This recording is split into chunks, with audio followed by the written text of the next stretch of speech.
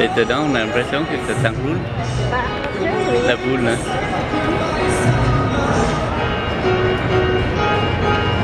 En fait, la boule ne bouge pas.